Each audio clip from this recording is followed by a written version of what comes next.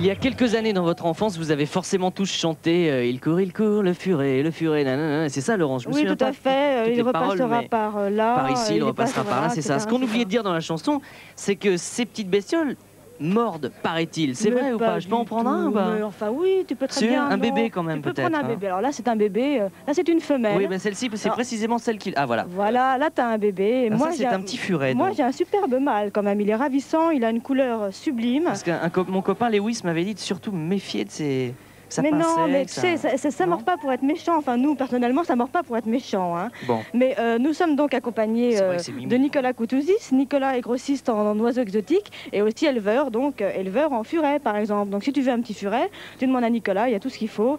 Et euh, Nicolas, est-ce que vous pouvez nous expliquer, par exemple, euh, les furets, d'où ça vient, la chasse aux furets, que personne ne connaît, en fait, à quoi vraiment sert cet animal au départ?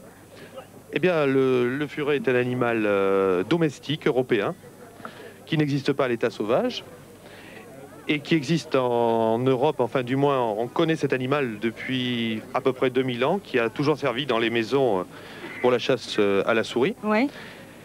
La, Parce que- cha- la- la chasse au rat, la, la chasse au rat, souris. la souris, oui, parce qu'effectivement c'est l'animal qui, qui furette, c'est-à-dire qu'il passe partout euh, du, du fait de, ce- de, ça, ça bouge, ça gesticule. Hein. de sa Oh. colonne vertébrale très très longue. Mais D'ailleurs, furet, ça vient euh, du latin ça- de, de fur qui veut dire voleur. Tout à Hein, fait, c'est c'est un ça. animal qui passe dans tous les endroits, qui réussit à, à trouver la souris beaucoup plus facilement que le chat parce qu'il va pouvoir la, poursu- la poursuivre dans des endroits où le chat, lui, ne peut pas aller. Alors, qu'est-ce qu'il faut Ensuite, pour la chasse au lapin, en fait? Comment ça se passe? C'est ce que je voulais dire. En- ensuite, on a utilisé le, le furet pour la chasse au lapin parce que c'est un animal qui réussit à débusquer très facilement le lapin. C'est-à-dire que le principe de la chasse, c'est que les chasseurs, soit seuls, soit à l'aide de chiens, trouvent les terriers. Ouais. Le fureteur, qui lui n'a pas de fusil, euh, installe un furet, ou deux furets, ou trois Ouais. furets dans Ouais. les terriers. Ouais, donc des adultes. euh, de Des, ce- des adultes de, de- de ce style-là qui sont déjà habitués, disons, au coup de fusil parce que c'est le problème qu'il peut y avoir avec le, le problème du bruit qu'il peut y avoir. Ouais. Bon, on met le furet dans le, dans le terrier et les, les lapins, uniquement sur l'odeur de- du furet, sortent immédiatement. À ce moment-là, les fusils attendent le, le lapin. Soit, euh, je veux dire, soit on tue le, le lapin, comme, Ouais. ça, comme ça se passe sur les aéroports, euh, on utilise les furets sur les aéroports, Ah oui, aussi. Pour- oui, à, à cause des rapaces. Ah oui, d'accord. Ok. Ça pour éviter qu'ils Ah oui. se mettent dans les, dans les réacteurs des avions. C'est cela, ça, hein. c'est-à-dire que les lapins attirent les rapaces qui Les posent des problèmes aux avions. voilà, Donc on utilise les furets, euh, c'est Ah, tu toute vois, une chaîne animale. C'est une réaction en chaîne, c'est normal. Quoi. Tous les animaux servent à quelque chose, finalement. euh, C'est évident. hein. On utilise aussi les, les furets pour euh, attraper les lapins pour pouvoir repeupler d'autres régions qui ne sont pas riches en lapins. j'ai peur d'une chose quand même, parce que j'en ai caressé un petit, sa, sa fourrure avait l'air extrêmement douce, son poil très très doux et très beau. Les furets sont-ils chassés pour faire des, des choses que certaines dames portent le Tu soir parles de Oui. cet euh, manteau de fourrure par Voilà, pour être plus clair. Et- effectivement, il y a eu une sélection de fêtes sur les furets. De toute façon, on ne les chasse pas, hein, ce sont des animaux domestiques. C'est des animaux qui n'existent pas à l'état sauvage.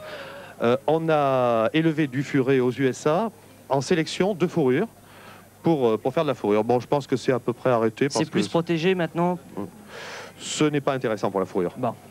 Tant mieux. Bon, Tant donc mieux eux, mieux, ils peuvent tant mieux. vivre tranquille, c'est beaucoup mieux. Actuellement, les furets, on, les, on ne les élève pas réellement pour la chasse, puisque la chasse aux furets n'est pas autorisée dans tous les départements français. Ah bon? On euh, uniquement dans les, dans les régions où le, où le lapin est classé nuisible. Ah, D'accord, ok. Mais dans les autres régions, on n'a pas le droit de chasser aux vous vous êtes fait mordre là. Non, non, je non, m'amuse, je regarde, moi. Je Vous jouez avec eux Mais je- moi aussi, une bordille. Mais alors, en Ah fait, bon bon, c'est un, animal qui vit 15 ans, qu'on peut donc avoir euh, chez soi, euh, comme si on avait un chat ou un chien, Tout à finalement. fait, tout à fait, tout à fait. Bon. Et nous, nous élevons les, les furets au centre d'élevage euh, pour les vendre comme animaux de compagnie. Absolument pas pour la chasse. C'est indépendant ou ça, ça réclame euh, certains soins spécifiques? Est-ce qu'il faut un jardin? Est-ce qu'il faut un balcon? Absolument euh, Un jardin, non, je pense pas que ça soit utile un jardin parce que vous risquez de le perdre dans un jardin. C'est un animal qui va se, qui va se mettre dans n'importe quel Oui, coin, qui va s'enterrer dans un terrier, qui va s'endormir quelque part, vous n'allez pas forcément le retrouver. Par contre, c'est- l'animal type d'appartement.